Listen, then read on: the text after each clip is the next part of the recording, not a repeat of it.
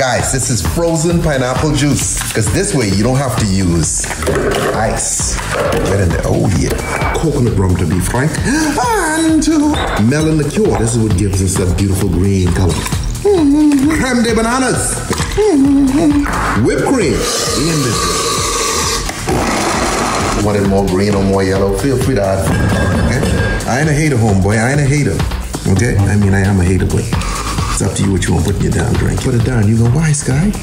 So I could do my little top dance. Scoop out a little bit right here. Little okay? With straw right here. These strawberries are roids, you know what I mean? Get a little slip right there like so. A little pink sugar, like Salt Bae. And there you have it! The frozen Scooby snack! Super delicious, super delightful. Drink responsibly, don't drink and drive. Stay tipsy.